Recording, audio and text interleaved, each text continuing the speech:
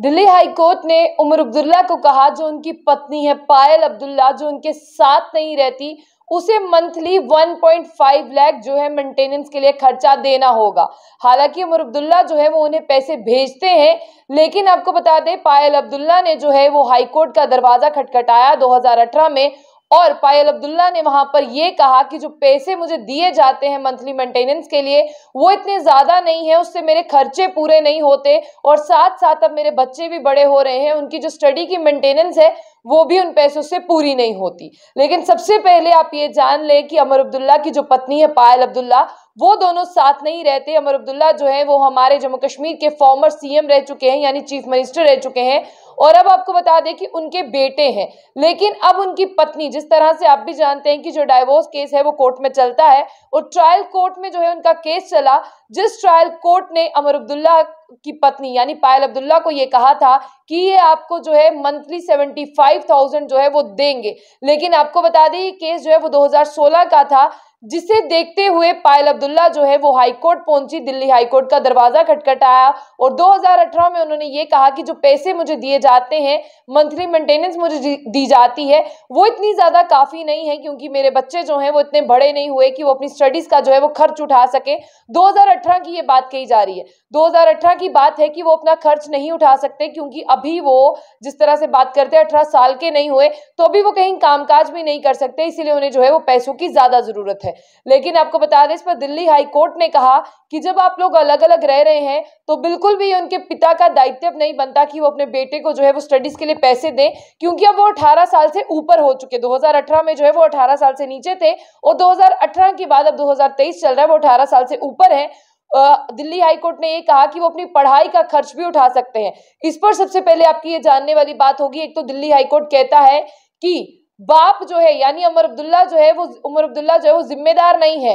वो नहीं दे पैसे तो भी चलेगा। लेकिन इसी पर दिल्ली हाई कोर्ट कहता है कि मंथली साठ हज़ार रुपए अपने बेटे के एजुकेशनल एक्सपेंसेस जो है, वो उमर अब्दुल्ला को जो है, वो देने होंगे। और इसी के साथ जो उनकी बीवी है, उनका भी जो है मंथली जो एक्सपेंसिव थे, उनको भी कोर्ट ने बढ़ा दिया। तो वो मिल जुलाकर 1.5 लाख जो है, वो मंथली उनकी मेंटेनेंस जो है, वो हुई है। लेकिन अब आप आगे सुने कि हुआ क्या। 2018 में पहुँची थी पायल अब्दुल्ला, यानी जो अमर अब्दुल्ला की पत्नी है, जो उनके साथ नहीं रहती, वो हाईकोर्ट पहुँची। और हाईकोर्ट ने एक तो बात पर यह कहा कि वो अपने बच्चों को अगर पैसे नहीं भी दें, एजुकेशनल एक्सपेंसेस तो भी चलता है। लेकिन फिर अमर अब्दुल्ला को ये कहा गया कि आप साठ हज़ार रुपया जो है अपने बच्चे को मंथली दे दें, ताकि वो अपनी पढ़ाई का खर्च उठा सके। इस पर पायल अब्दुल्ला ये कहती हैं कि मुझे अपने बच्चों के खर्चों के लिए, मुझे अपने खर्चों के लिए आज भी अपने माँ बाप पर डिपेंड रहना पड़ता है। तो हमारे देश का कॉन्स्टिट्यूशन कहाँ पर है? हमारे देश का संविधान कहाँ पर है? जो इतना भी नहीं देखता कि एक धर्म पत्नी जो है, जो बेशक अपने पति से अलग रह रही है, लेकिन आज वो खर्चों के लिए मोहताज है। इसी पर आपको बता दें कि अमर अब्दुल्ला के वकील ने कहा कि बहुत ज़्यादा चीज़ें जो है वो छुपाने की कोशिश की जा रही है। पायल अब्दुल्ला के पास इतनी संपत्ति है कि अमर अब्दुल्ला की संपत्ति कम पड़ जाए, ना जाने क्यों पायल अब्दुल्ला जो है वो अपने पैसों को, अपनी प्रॉपर्टी को, अपने जितने भी पैसे हैं एक्सपेंसिव खर्चे उन्हें छुपाने में लगी हुई है। और आपको बता दें कि 2016 में भी यही कहा गया था ट्रायल कोर्ट में जब दोनों जो है जज के आमने सामने बैठे थे, तब भी यही कहा गया था कि मेरी पत्नी पायल अब्दुल्ला के पास इतनी संपत्ति है कि, यानी इतनी प्रॉपर्टी है कि आज मेरी प्रॉपर्टी भी उसके सामने जो है वो छोटी पड़ जाए। लेकिन फिर 2018 में जो है वो दरवाज़ा खटखटाया गया। लेकिन अब इसका डिसीज़न जो है वो 2023 में आया है। कोर्ट ने कहा है कि अब आपको सिर्फ़ पचहत्तर हज़ार नहीं देने, कुल मिलाकर जो है आपको वन लाख देने हैं। अब सुनिए वो क्या कहते हैं अमर अब्दुल्ला। अमर अब्दुल्ला कहते हैं कि मैंने सारी चीज़ें सुनी पायल अब्दुल्ला मेरे साथ नहीं रहती, वो भी ठीक है। लेकिन पायल अब्दुल्ला जो है, आज एक लेविश लाइफ जीती हैं। उनका एक लेविश लाइफस्टाइल है। ना जाने वो अपने आप को क्यों गरीब गुरबा बताने पे तुली हुई हैं। पायल की जो संपत्ति है, वो भी मुझसे ज़्यादा है। पायल ये क्यों कोर्ट के सामने कहने की कोशिश कर रही है कि वो बच्चों का जो है खर्च नहीं उठा पा रही? या उनके उनके खर्च के लिए जो है वो माँ बाप पर डिपेंड रहना पड़ता है।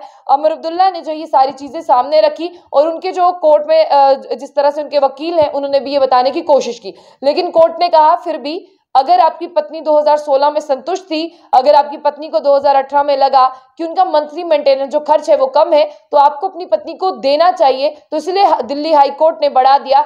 और ये फॉर्मर चीफ मिनिस्टर रह चुके हमारे जम्मू कश्मीर में के, ये कोई छोटे मोटे इंसान नहीं, अगर आपको बता दें कि ये वही फॉर्मर चीफ मिनिस्टर हैं जो अभी तीन सौ सत्तर के लिए भी हाईकोर्ट गए थे। और यहाँ पर आपको बता दें कि इन्होंने ये भी कहा है कि मुझे पता है कि मेरे यहाँ पर क्या रूल्स है, मुझे अपनी पत्नी को क्या देना है, क्या नहीं देना। लेकिन यहाँ पर मेरी पत्नी जो है, वो अपने आप को गरीब गुरबा बताने में, अपने आप को ये बताने पर लगी हुई है कि मैं बच्चों के बिल्स पे नहीं कर सकती, बच्चों के एजुकेशन एक्सपेंसेस नहीं उठा सकती।